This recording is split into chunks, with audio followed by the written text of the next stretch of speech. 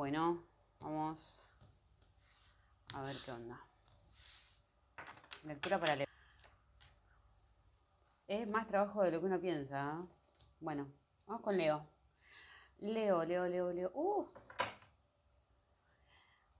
Leo, me acuerdo de las lecturas anteriores que a veces sale como alguna especie de contradicción entre lo económico y el corazón. Es muy loco porque las energías son muy parecidas generalmente.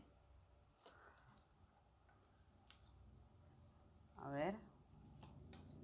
Oh, un poco alunado o alunada en el amor también, ¿eh? No, no son las mejores de las lecturas. Bueno, puede ser, Leo, que esta eh, lectura tenga que ver un poco con con una cuestión de insatisfacción es que ha salido energía de mucha confusión o de introspección o tal vez ha pasado algo con el tema de guardarse un poco, de las cuestiones emocionales. A nivel trabajo creo o económico hay como una especie de, bueno, yo tenía esta seguridad y ahora ya no alcanza o no es tan importante como antes. Hay un tema con eso, ¿eh? Con... Eh, eh, relajarse o dormirse en los laureles esperando que las cosas se solucionen y no se solucionan. Me pasan cosas con las lecturas de Leo siempre, que como que los mensajes son medios confusos muchas veces. A veces son lecturas espejo, a veces son lecturas directas. Pero bueno, Leo, a ver. Yo veo energía masculina de huir, de irse. Mira estas dos, o sea, estas dos. Eh, lo más turbio puede que ya haya pasado. Mira esta persona como está agotada luego de tanto trabajar o de tanto defenderse de algunas agresiones externas. Quería hacer algo y no estaba en el mejor de los momentos. Leo, que es el signo del corazón y del amor, supuestamente, o de la energía creativa, se veía como un poco yéndose por una cuestión de necesitar dar vuelta la cuestión para que esto vuelva a fluir, ¿no? Y realmente como una especie de introspección, pero de necesitar dar vuelta a la cuestión para solicitar nuevos socios y poder abrirse nuevamente hacia otras cuestiones, sobre todo energía masculina de Leo, era lo que veía como medio tratando de invertir una situación, tal vez una especie de sentirse muy solo simplemente. Acá en la parte del amor o de las parejas, por ejemplo, se ve como una especie de no tengo ganas o la verdad que lo que se me ofrece no me interesa, no me gusta y bueno, y lo comunico y lo digo como diciendo, bueno, eh, la cuestión de pareja de Leo se veía como esta cuestión de no me gusta lo que me estás diciendo, no me gusta lo que me estás proponiendo y te lo tengo que decir, ¿me y bueno, no sé si esto terminará en pelea o no, tal vez eh, lo que le pasaba a Leo era como que más más cuestión de apatía igual, me parece, como medio de no tener ganas. Las lecturas anteriores igual, siempre la energía es similar, es como que el hilo se va sosteniendo. Em, yo creo, sinceramente, que hay alguien acá que no está conforme con lo que se le está ofreciendo o lo que das no le alcanza a la otra persona. Como que el mensaje es ese, ¿no? La energía del mes de Leo también es de sanación de decir, bueno, al final estuve dándolo todo y la verdad que sinceramente al pedo. Leo, ¿sabes que yo me acuerdo de las lecturas? Yo tengo muchísima memoria real. Eh, el tema de las amistades salía también que en otras cuestiones hubo como algunas traiciones, algunas cosas. Entonces me da la sensación de que se luchó mucho por con amistades o algunas disputas, pero decir, bueno, esto ya está frío, esta relación amorosa o, amigos, amigos pareja, todo lo que sea amistad o socios, por ejemplo, o vínculos o compañeros de, creatividad, no, no era la mejor de las energías a nivel ideología, puede pasar, que a veces simplemente, no sé, con el tema de la pandemia y todas las revoluciones que hubo, puede suceder que con las amistades ya se cambien un poco porque ya no coincidimos a nivel ideológico.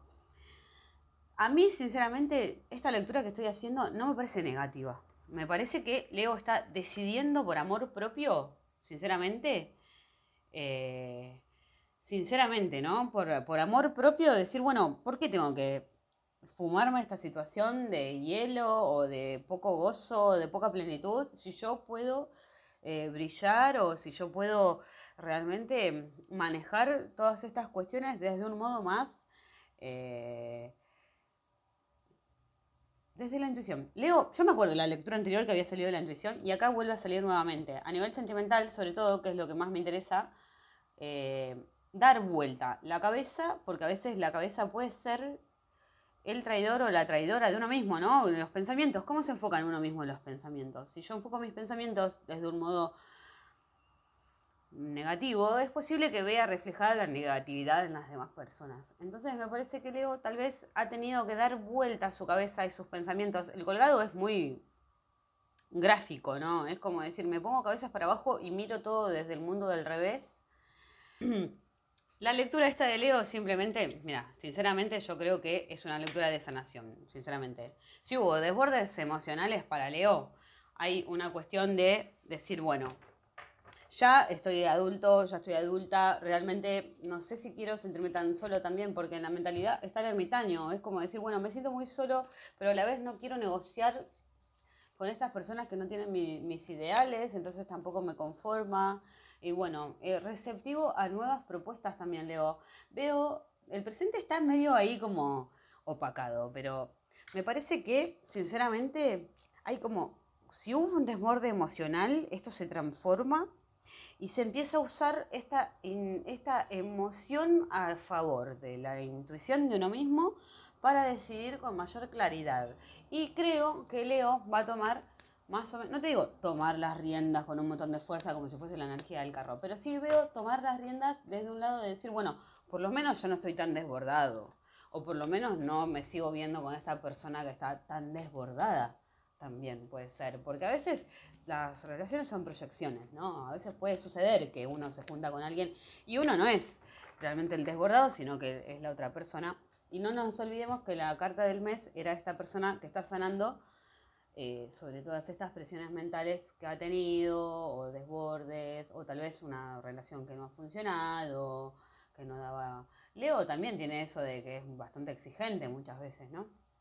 Bueno, la lectura igual termina con la luna, los enamorados y eh, una sota de bastos, así que yo creo que se termina saliendo de esta confusión, se termina aclarando un poco más el corazón y las emociones. Eh, la intuición usarla para canalizar las emociones desde un lado positivo, tal vez para el lado de la creatividad, tal vez salir de relaciones que hacían daño. Mirá, este cinco de oros son personas que están mendigando, por favor, eh, amistad o bancame cuando te necesito, ¿no? Entonces, bueno, Leo no está para esa, ya.